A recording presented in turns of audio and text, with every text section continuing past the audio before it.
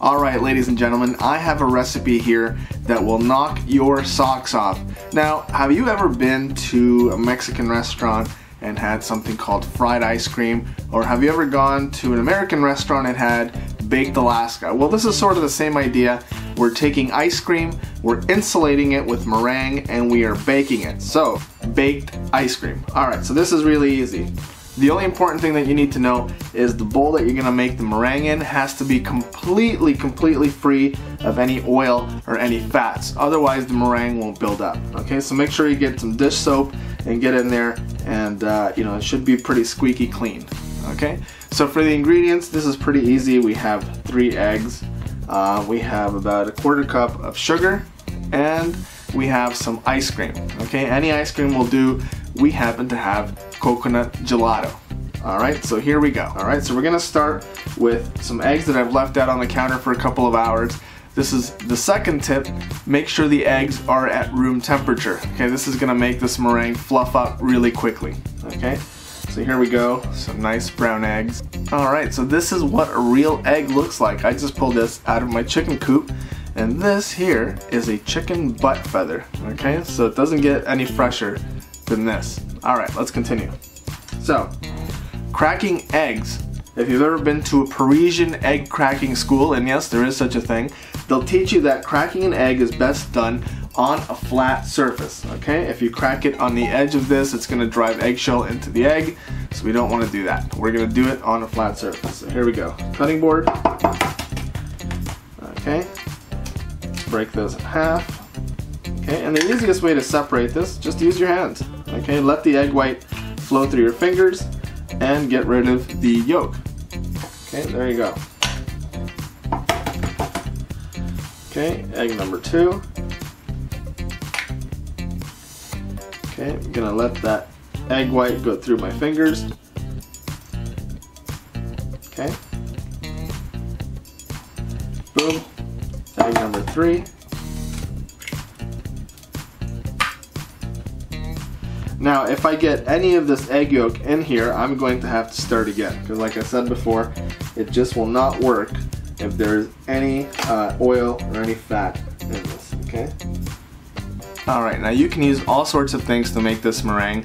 You can use a stand mixer, you can use a hand whisk, you can use an electric mixer. I happen to have a rechargeable hand blender here with a whisk attachment Okay, this is from Cuisinart. This is really handy. It's always hanging around on my wall and anytime I need to whisk anything, I just grab this off the wall.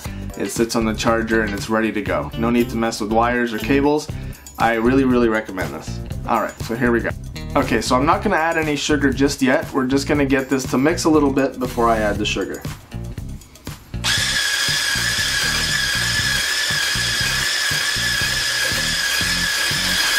Alright, now that it's getting frothy, I have my quarter cup of sugar here.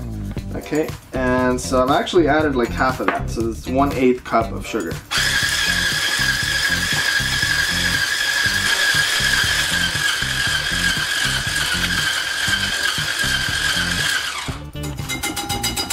Alright, so how far do we go with this? Okay, well, this is a really good test. This is what I always do.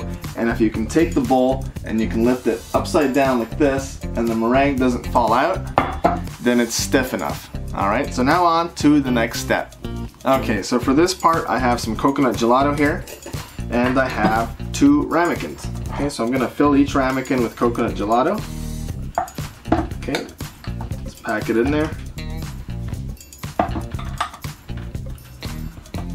All right, and then I'm gonna take some of this meringue, and I'm going to pack the top of each of these ramekins. Now, what this is gonna do, like I said before, this is gonna insulate the ice cream. So when we put it under the broiler, the ice cream is gonna stay cold and the meringue is gonna cook. Okay. When I do this dessert, I call it cocoa in the clouds. So I like to make my meringue look like fluffy clouds.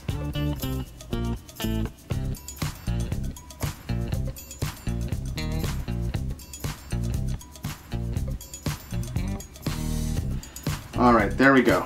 So now it's gonna go under the broiler and you know just for a few seconds and then it's gonna come out. Okay, so you want to set your oven to broil. Okay, broil 550, start.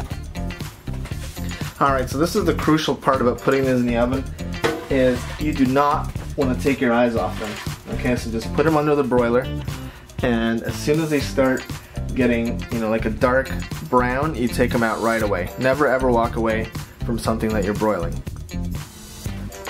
Okay, I see a little smoke coming off them, and just for a few seconds longer.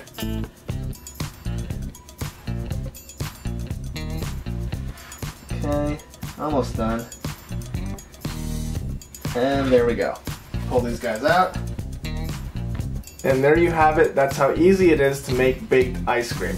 Okay, now check these things out. If I go right in here, I'm gonna go through a layer of really nice cooked meringue, and at the bottom it's gonna be this really nice cold ice cream. Wow, this is quite a dessert.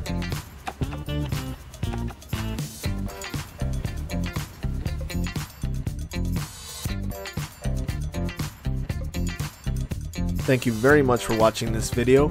Please do not forget to hit that subscribe button. Your subscriptions help me make more videos. This program is brought to you in part by Cuisinart. Savor the good life.